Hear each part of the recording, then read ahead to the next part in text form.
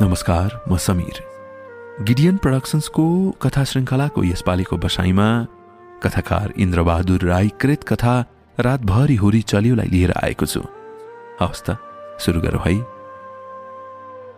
छानामा ठोकेको मटिटेलका टिनहरूलाई हावाले फेरि खल्ट्याङ खल्ट्याङ खट खट खल्ट्याङ खल्ट्याङ गर्दै एकहोरो तहरले हल्लाउन थालेको छ। छप्परै उडाएर लैजाला भन्ने मनभित्रबाट डर लागेर आउँछ।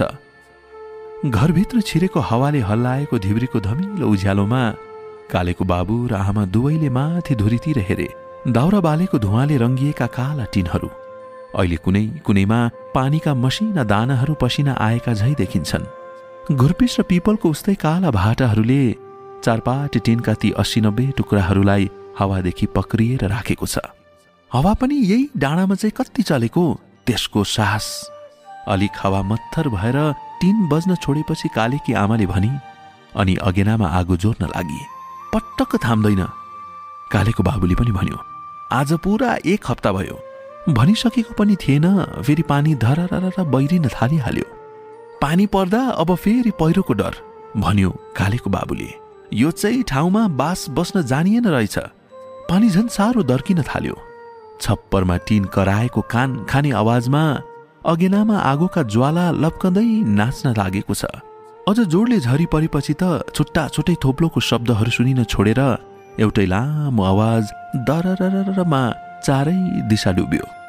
अहिले अब सब बगाएर लैजान्छ पहिरोले तान्छ सब सोरेर माथिबाट छोप्ला।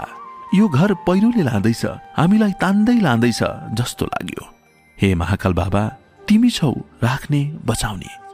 बतासले हिर्काएर तेर्सो बाछिटा भित्ताको तख्तामा ठोकिँदैछ। तख्ता जम्मै भित्रपट्टि पनि भिजिसकेको छ। सधैँ भित्तामा सटाइएको टाँड अलि पर पानी नखस्ने ठाउँमा सारिएको छ। काले बहिनीलाई समातेर निधाएको छ। तेरै जिद्दीले यस्तो ठाउँमा घर बनाएको। लोग्नेले एक्काएक झोकिएर भन्यो नभएदेखि मजासँग पुलिस काम गरेर बजार बिचमा बिल्डिङमा बस्दै थियौँ। हावाको डर न पहिरोको डर। स्वास्नीले केही भनिन बडा बारी गर्ने भइस ठुलो भाग खालिस। ऊ अझै फतफतायो रिसले तिमी जाऊ न त सुत ढुक्कसँग कालीकी आमाले अहिले भनी असारे झरी यस्तै त हुन्छ। के गर्नु? वर्षैपछि यस्तै हुन्छ। मर्यो पहिरोले भने मरे मर्यो। के गर्नु काल आयो भने काल खोज्न आइस? मर्छेस पनि। पानी अलिअलि कम हुँदै आयो स्वास्नीले मगमा चिया बनाइदिए। निकै पर्न कम भएपछि बलिसीदेखि पोखिएर खसेको पानी पनि सुनिन थाल्यो। चिया खाँदै उसले सोध्यो कति बज्यो होला? खै कुन्नी त कति बज्यो? बज्यो होला एघार बाह्र। कालीका आमाले भनी अनि हाई काटी दुईपल्ट अब त रहन्छ होला कि? रहनुपर्ने। चिया खाइसकेर ऊ उठ्यो। दैलोतिर जाँदा चुहेको पानी थापेको भाँडा लातले हिर्काएछ। पानी छताछुल्ल भयो। कस्तो आँखा नहेरेको? भन्दै स्वास्नी चाहिँले बोरा ल्याएर ओछ्याए उसले केही भनेन। दैलो खोलेर बाहिर अँध्यारोमा सुन्दा रुङदुङ खोला भयानक तरले पाक्कै थर्काएर गर्जँदै रहेछ। बीचबीचमा अरू किसिमको आवाज पनि भएको जस्तो लाग्दा उसले खोलाले सिङ्गै खनीको रुख बगाएर ल्याएको वा पहिरो झरेर माटोले खोलाको पानी जम्मै पहेँलो भएको अन्दाज काट्यो। अँध्यारो चाहिँ आफ्नो हात नदेखिने अँध्यारो छ।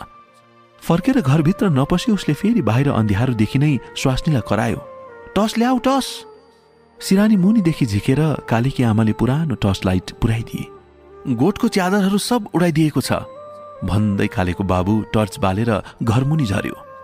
आँखा आकारको टर्चको ज्योति भिजेका भुइँ र घाँसतिर देखियो। कालीकी आमा पनि पछि पछि आई। गोठमा पस्दा भुइँमा थ्याच्च शरीर टेकाएर बसिरहेको गाई जुरुक्क उठ्यो औ एकपल्ट डाँ करायो। छानादेखि चुहेको पानीले गाईको पिठ्यौँ भिजेको छ। औ रौहरू सब टाँसिएका छन्।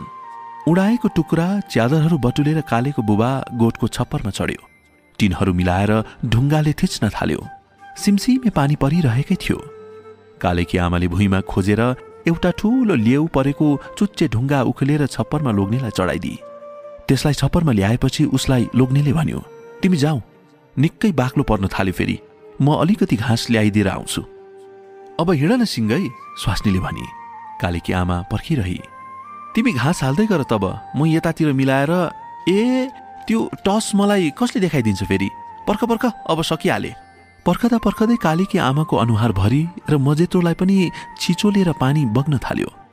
बल्ल बल्ल सकेर कालेको बाबु झर्यो। हतार हतार घाँस हालेर दुवै घरमा पसे।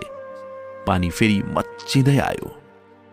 लुगा फेरिपछि अब दुवै नाटकमा माग्नेको पाठ खेल्न तयार भएका जस्ता देखिए। जुलुलु आगो फुकेर दुवै सुक्न र सेक्न लागे। चिया छ? उसले फेरि सोध्यो। अब नसुत्ने र? उत्तरमा प्रश्न भयो। तिमी सुत मलाई चिया बसाइराखिदेऊ कालो कित्ती तानेर कालेकी आमाले त्यसमा मगले उघाएर पानी हाल्न थाली। भरि बसाइदेऊ उसले फेरि भन्यो। स्वास्नीले त्यसै गरी। कालेको बाबु उँभो छप्परतिर हेर्दै थियो। फेरि उठ्यो अनि दाम्लो बनाउन लाएर सिउरी राखेको डोरी झिकेर बलोमा बाँध्न लाग्यो।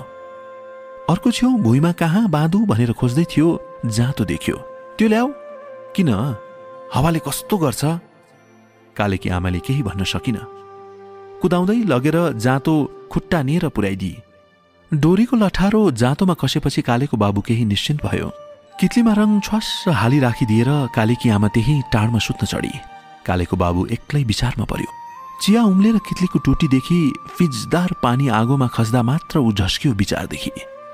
चिया बनाउँदै थियो हुरु एकपल्ट हावा चल्यो अनि छप्परमा ठ्वाङ्ग केही आएर खस्यो। उत्तिसको टुप्पो हो कि? तर कालेको बाबु एकदम तर्सियो। हावापानी नचलेर शान्ति जस्तो भएपछि बत्ती त्यतिकै नमारी ऊ पनि ओछ्यानमा सुत्न गयो। दिउँसो छरेको मुलाको बिउ सब बगायो होला। उसले सम्झ्यो गराको डिल भत्केर कति सयपत्री बोटहरू पनि भाँचिए होलान्। भोलि बिहानै उठेर पहिला काम घरमाथि भीमसेन पातीको झ्याङदेखि उता कालो काटेर लैजानुपर्छ। अलिकति निदाएको थियो कि बिउजदा कता हो कता हावापानी फेरि चल्दै रहेछ। धेरै उडाउला जस्तो गर्दैछ। जुरुक्क जुरुक्क उचाल्दैछ। वरिपरिका रुखहरूमा ठोक्किएर बजेको हावापानी भयानक भएर गर्जँदैछ। उसले स्वास्नीलाई बिउझायो साह्रो हुरी चल्यो कसो गर्नु हो मैले कालीकी आमाले जवाफ गर्न पाएकै थिएन। डर गरेर घरको भुइँ सब हल्लियो। के भयो? उठा उठा! टर्च टिपेर ऊ दैलो खोल्न पुग्यो। कालीकी आमा पनि आएर पछिल्तिर उभि। टर्च लगाएर राम्ररी हेर्दा आँगनको एक पाकै वात्तै धस्केर गएछ। एउटा किम्बुको रुख पनि बिस्तारै ढल्केर त्यही पहिरो गएको माथि लड्यो। अब कसो गर्नुहोला? ऊ डराएर रोयो। तिमी जाऊ केटाकेटीलाई उठाऊ। वृष्टिको आवाजलाई उछिनेर उसले स्वास्नीलाई हरायो। स्वास्नी गएपछि टर्च मारेर ऊ दैलोमा उभिरह्यो हेरिरह्यो। अहिले कता कता त्यो वृष्टि र कोइरोभित्र उसलाई बिहान हुँदै आएको आशाको धमिलो प्रकाश देखे जस्तो लाग्यो। शङ्काको निवारणमा घरभित्र डोकोले छोपेको ठुलो भाले पखेटा भ्याट्ट भ्याट्ट गर्दै बास्यो। कुकुरिका कुकुरिका! बिहान दुधको ढुङ्ग्रो काँधमा बोकेर बजार आउन लाग्दा कालेकी आमालाई बोराको घुम ओढेर फरुवाले आँगनमा भल काट्दै गरेको कालेको बाबुले कराएर सम्झायो काँटी लामो काँटी ल्याउनु नभुल्नु है। हा? दिनभरि सब ठोक्नुपर्छ। साह्रो पानी पर्यो भने काले स्कुल नजाओस् आज भनिराखेर ऊ कालो आई। आउँदा एक ठाउँ डिस्कुना झरेर बाटो पनि रोकिएको रहेछ।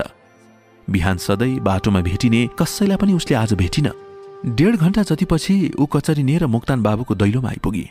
यहाँ आधा सेर खान्थ्यो दुध भर्दै गर्दा भित्र आएर बस है एकछिन। एक प्याला तातो चिया खाएर जाऊ। भनेर भर्खर कि केटी राम्री बाबुनीले दया देखाए। छाता मारेर दैलोमा ठडाई कालीकी आमा भित्र पसे। के साह्रो चल्यो हावापानी रातभरि कालीकी आमाले भने। हामी त रातभरि झिमिक्क गरेका छैनौँ। हामी पनि त बाबुनीले भने। रातभरि हावाले यो खिर्की घिटिक घिटिक घिटिक घिटिक हल्लाइरह्यो। मलाई त निन्दै लागेन। कस्तो हावा चलेको त्यस्तो? ए त्यति मात्रै पो।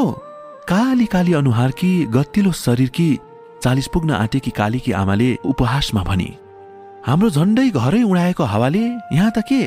पहिरोको डर छैन तिमीहरूलाई? हाम्रो आँगनै जम्मै लग्यो। अब घरै लान लागेको छ। पानी पर्यो भन्न पाउँदैनौँ हामी। गाईलाई भोकै राख्न भएन घाँस काट्न दगुर्नै पर्छ। राति निन्द्रा आएन भनेर दिउँसो सुत्न पाउँदैनौँ हामी। भन्नु मात्रै त हामीलाई राम्रो छ नि। बाबुनीले साँच्चै सहानुभूतिमा भनी छप्पर चुहिएर लुगाहरू किताबहरू सबै बिगारिदिएको छ। यही बेला बिजुली बन्द हुन्छ। होइन होइन। हामीलाई हेरी केही आपत छैन तिमीहरूलाई। ए अब पानी परे कि म यहाँ छु? घर के भयो होला भनेर मन भुटभुटिन थालिहाल्यो। मेरो मकैहरू पनि सब भाँचिदियो हिजोको हावाले। केही राखिदिएन। कालेकी आमा त्यहाँदेखि निस्की अरूतिर दुध बाँड्दै गए व्यर्थैमा हामीले बारी गर्ने भएर यो आपत बेसाएको। उसको मनमा लाग्दै आयो। नत्र सुक्खसँग बजारमै बसेका थियौ। महिना मर्ने साथ तलब पाउँथ्यौ सुरुबुरु पुगेकै थियो। केटाकेटीलाई स्कुल जान नजिक पानी भर्न जानलाई शिक्षिको थिएन सडक सजिलो राम्रो न हावाको डर न पहिरोको डर। बित्थैमा नदुखेको कपाल बारी लिने भएर दुखाएको। यो बारी लिएको दिनदेखि फुर्सदमा नाम छैन आफूलाई।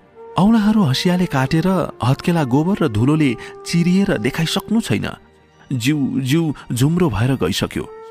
एक दिन घर छाड्न सकिँदैन। टाढा घुम्न जाने कुरा त असम्भवको इच्छा। यति जोतिएर मरिरहेको खालि यति खान र यति नै लाउनलाई न हो। फेरि खाना पनि के खाएका छौ? औ लाउन पनि के लाएका छौ र? अरूले देख्ला भनेर यो खानेकुरा लुकाउनु पर्छ यस्तो लाएर लहरमा अरूसँग उभिन शरम लाग्छ। मनमा उसको अनेक रिसहरूको हुरी चल्यो। ऊ अब थानाको दोरङ्गा कहाँ दुध दिन पुगे। बन्द दरवाजाको ऐनामा ठकठकाएर दुध भनेपछि एउटी मैलो जामा लगाएकी केटी आएर दुध थापी। ठेकाभरको डेढ सेर हाल्दै गर्दा भित्रबाट दोरङ्गिनी कराई। फाल्टु तिन सेर भोलि ल्याइदेऊ है बोजू खिर खानालाई। राम्रो ल्याइदेऊ है। एकछिन कुनै किन ढिलाएपछि उसले केटीलाई भनी पठाई पुग्दैन अरू भनिदिनु। ठेका पुर्याउनै मुस्किल पर्दैछ। हावापानी चलेर भोलि त आउँछु कि आउँदिन अर्कोतिर खोज्नु भन्नु। सुनिछ तोरङ्गिनीले र दरवाजामा निस्केर कालीकी आमाको विजयको लुगाहरूमा हेर्दै भनी तिमीले ल्याइदेऊ न। अरूकोमा म कहाँ खोज्न जानु यस्तो पानीमा? तिमीले नै ल्याइदेऊ। दीपकको जन्मदिन छ र पो त। पुग्दैन थकित कण्ठित स्वर उसको अन्तरबाट निस्कियो। दोरङ्गिनीलाई उसले हेर्दै लगी कति सफा लुगाफाटा। कति सेतो अनुहार। हातहरू कति राम्रा। उसको लोग्नेलाई सुख छ। घरभरि चौकी पलङहरू र दराजमा सारीहरू। माटो हिलो छुनु पर्दैन गोबर सोहोर्नु पर्दैन हावापानीदेखि डराउनु पर्दैन। पुग्दैन म भोलि यस्तै हावापानी भयो भने आउँदिन पनि। हामी अनि त दिनभरि फिके चिया खानु? कस्तो कुरा गरेको? ल्याइदेऊ है। जसरी भए पनि ल्याइदेऊ। कालीकी आमा केही नभनी सिँढीदेखि झरेर बजारतिर निस्की। बाटोमा हिँड्दै ऊ आफै फतफताई। अँ यसरी दिनरातको पहिरो र हावाको डरमा बाँचेर दुई एकर जमिनको माटो वर्षमा दुईचोटि पल्टाएर जीविका गर्ने महिलो परिवारको हत्या हो। बेचिदिन्छु दुवै माउगाई र कोरलीहरू सब सोहो मोह दाम मिलाएर बारी पनि बेचिदिन्छु। घरको टिन र काठपात गोठ पनि सब बेचिदिन्छु। पाँच छ रुपियाँको सानो कोठा लिएर पनि बजारमा बस्छु। म चोकमा सागसब्जी बेचिहाल्छु ठुलीकी आमा जस्तो। उसले बढी काम राजकाम जानेकै छ। भएन चौकीदार काम पनि पाइहाल्ला। दुईटा छोराछोरीलाई हल्कै पार लाउँछु। म बस्दिनँ यस्तो सुन्ने ठाउँमा। निर्णय गर्न सकेपछि उसलाई मनमा ढुक्क लाग्यो। खुट्टाहरू दुखेको पनि हरायो।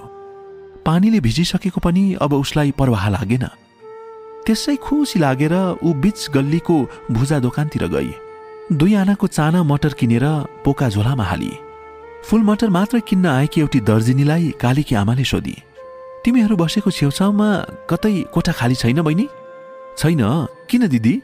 तिम्रोतिर पहिरो गए कि? होइन म बजारतिर घर खोज्दैछु। पानी टट्टी अलिक नजिक भएको।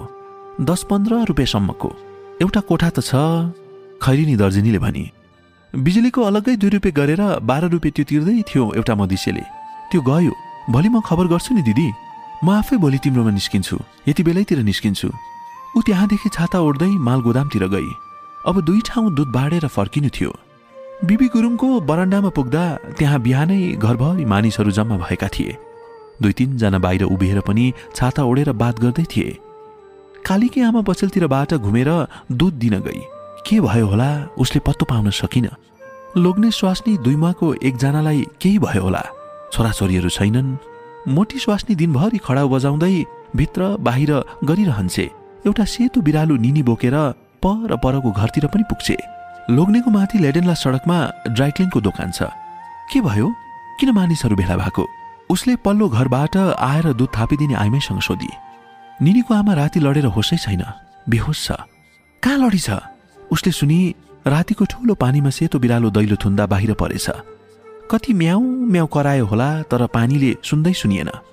अलिक पानी थामिँदा बिरालोको खोज भयो। बाहिर खोज्दा कति बोलाउँदा पनि बिरालो आएन। तलतिर खोज्न जाँदा खडाउ चिप्लेर निनिकी आमा तल बाटोमा बजारिन पुगिछ। हतार हतार डाक्टर बोलाइयो। डाक्टर पनि छिटो आएन। अहिलेसम्म होस फर्केकै छैन। जाबो बिरालोले गर्दा पो रहेछ त। कालीकी आमाले बिस्तारै भनी यही होइन त्यो बिरालो? सेतो बिरालो चुलाको तातोमा न्यानो मानेर भुस्ला चाट्दै बसिरहेको थियो। कालीकी आमा त्यसै त्यहाँदेखि उठेर हिँडिहाल्न सकिन। दैलोको काठमा बसिरही। बस्दा बस्दै उसले लोग्ने चाहिँ रुँदै बाहिर आएको देखि। उसले सुनि त्यो आइमै मरिछ। कस्तो उदेक हत्तेरी भनेर कालीकी आमाले ढुङ्ग्रो झोला काँधमा भिरी। चौकीदारनीको घरमा एक पावा दुध भनेर बटुको लिएर आएको सानी छोरीलाई पनि अलिकति तुर्काइदिएपछि कालीकी आमा भुइँको बोरामा थ्याच्च बसी। चौकीदारनीले तातिरहेको चिया उतारेर अङ्गेटीमा दुध बसाउँदै सोधी बहिनीहरूकोतिर कस्तो छ? हुरीले साह्रो बिगारे होला है। सक्खाप पारे होला। कालीका आमाले के सम्झिरहेकी थिए केही भनिन। फेरि चौकीदारनीले भनी यता बजारमा त केही आपत छैन केही डर छैन तर कमान बस्तीतिर कति दुःख छ कस्तो बिजोग छ मलाई थाहा छ। त्यही देखेर हाम्रा बाबुहरू बजार पसेका। कालीकी आमाले अहिले अब अलिक बलियो भनेर भनी छ आपत विपद जहीँ पनि छ। हो हुरीले बिगार्यो तर अब सबै ठिक बनाइहाल्छौ। कुनै नसकिने काम होइन नि त्यति गर्न। आफ्नो घर छ गोठ छ गोठमा गाईहरू छन् बारी छ बारीमा तिस चालिस झ्याङ बाँसहरूको छ गगुन र नेबाराको रुखहरू छन्। काँक्राको लहरा आकाशतिर जाँदैछ। हुरीले कति पो बिगार्न सक्छ र? इ अब गएर बनाइहाल्नुपर्छ। अनि जिब्रो कुल्काउने तातो चियाको घुटका हतार हतार निलेर ऊ बजारमा काँटी किन्न आइपुगी। अनि मनमा नै भन्दै थिए एकदम ढिलो भइसकेछ। आज मलाई कालेको बाबुले मार्छ।